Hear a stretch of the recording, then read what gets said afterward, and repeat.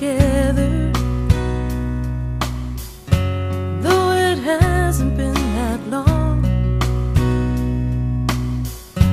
Now we're promising forever.